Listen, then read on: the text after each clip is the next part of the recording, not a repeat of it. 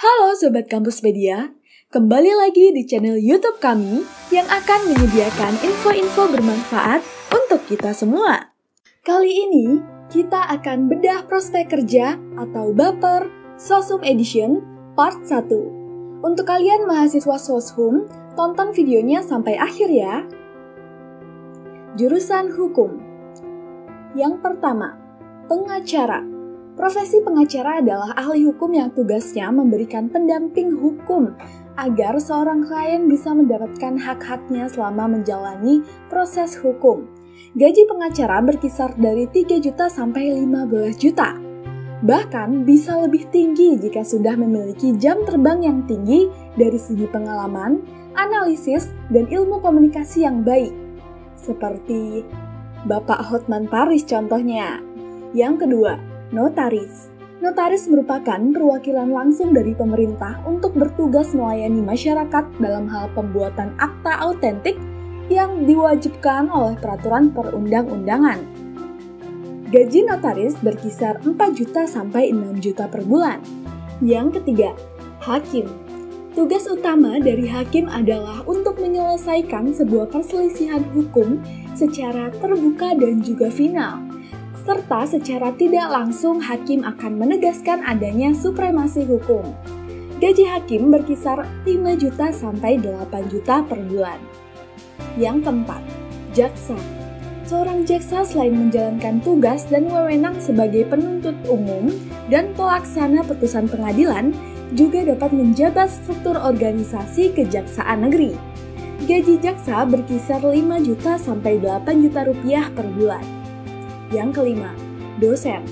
Pilihan profesi ini sangat terbuka lebar bagi kamu yang berminat memiliki karir di bidang pendidikan. Kamu bisa menjadi dosen dan mengajar mahasiswa yang berkuliah di Fakultas Hukum. Sebagai dosen, kamu akan mendapat gaji tetap besar gaji yang bisa kamu dapat berkisar antara 3 juta hingga 5 juta rupiah per bulan. Yang keenam, diplomat. Profesi diplomat adalah seseorang yang melakukan diplomasi dengan beberapa negara dan suatu organisasi internasional. Menjadi seorang diplomat harus memiliki kemampuan berbahasa asing yang baik, dibuktikan dengan sertifikat TOEFL atau TOEFL Prediction dengan nilai minimal 550. Gaji seorang diplomat berkisar 4-20 juta rupiah per bulan. Pekerjaan yang berkaitan dengan hukum dapat bekerja di Kementerian Luar Negeri atau Kemenlu, kedutaan besar negara, dan instansi pemerintahan. Jurusan Akuntansi Yang pertama, profesi akuntan. Tugas dasar seorang akuntan adalah mengawasi, menghitung, dan membuat laporan keuangan suatu lembaga, instansi, atau perusahaan tempatnya bekerja. Peluang kerja sebagai akuntan akan selalu terbuka, karena setiap sektor industri membutuhkan akuntan. Gaji akuntan berkisar 5-8 juta rupiah per bulan. Para akuntan dengan jam kerja yang lebih panjang mendapatkan bayaran lebih tinggi lagi. Yang kedua, PNS akuntansi. Akuntansi banyak dibutuhkan oleh pemerintah untuk menangani masalah keuangan pemerintah. Misalnya, Kementerian Keuangan dan Dirjen Perpajakan, Kemenkumham, Bawaslu, analisis monitoring, evaluasi, dan pelaporan. Gaji pokok PNS akuntansi adalah Rp2.300.000 per bulan golongan 2C, dan gaji PNS Kementerian Keuangan adalah Rp2.500.000 per bulan dan paling besar Rp49.900.000. Yang ketiga, akuntan pendidik, guru atau dosen. Profesi ini bertugas menyampaikan materi baik di dalam maupun luar kelas. Gaji pokok dosen akuntansi adalah 2.500 sampai 4.200, tergantung tugas yang diemban. Yang keempat, profesi internal auditor.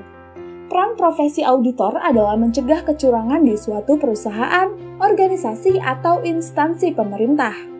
Auditor dapat bekerja di lembaga pemerintahan, perusahaan swasta, konsultan, dan dirjen pajak yang berada di bawah Departemen Keuangan Republik Indonesia gaji auditor berkisar dari 2 juta sampai 5 juta rupiah per bulan. Yang kelima, akuntan publik. Akuntan jenis ini bertugas melakukan pemeriksaan atau audit, memberikan jasa perpajakan, dan memberikan jasa konsultasi manajemen. Gaji seorang akuntan fresh graduate di kantor akuntan publik rata-rata adalah 4 juta sampai 8 juta rupiah per bulan. Yang keenam, konsultan pajak. Konsultan pajak adalah orang yang bertugas membantu wajib pajak dan mengurus segala hal yang berhubungan dengan pajak.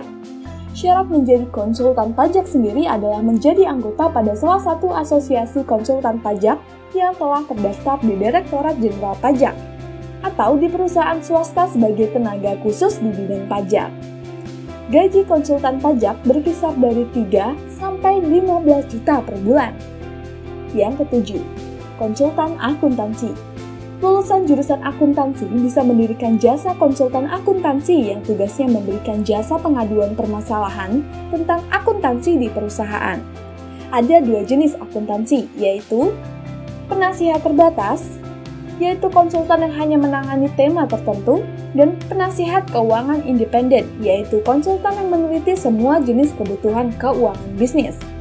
Gaji konsultan akuntansi atau penasihat keuangan berkisar 5 juta rupiah sampai 7 juta rupiah per bulan. Pekerjaan yang berkaitan dengan akuntansi dapat bekerja di berbagai perusahaan swasta, perusahaan perbankan, startup, dan lembaga pemerintah jurusan manajemen. Yang pertama, business development. Tugas seorang business development profesional adalah mengidentifikasi sebuah peluang market dan kemitraan bisnis baru lainnya yang cukup potensial. Juga menciptakan produk dan jasa baru untuk memenuhi kebutuhan pasar dan memanfaatkannya sebagai peluang untuk menghasilkan profit yang lebih banyak untuk perusahaan gaji bisnis development berkisar 6 juta sampai 12 juta rupiah per bulan. Yang kedua, marketing manager. Marketing manager adalah profesi di bidang marketing yang bertanggung jawab penuh dalam suatu program atau kebijakan terkait pemasaran dan berperan penting dalam pencapaian omset atau keuntungan perusahaan. Gaji marketing manager berkisar 10 sampai 13 juta per bulan. Yang ketiga, product manager Product manager harus memahami seluruh aspek bisnis suatu perusahaan berupa proses ideasi, eksekusi ide, hingga operasional produk.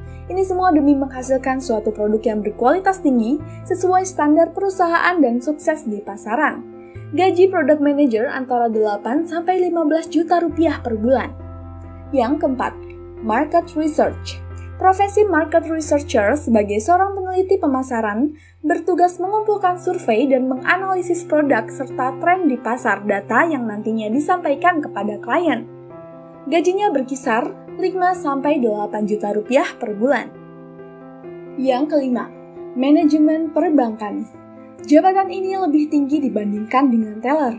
Namun, tanggung jawabnya lebih besar karena bertugas mengawasi pegawai lain yang sedang melayani nasabah gajinya berkisar 8 sampai 15 juta rupiah.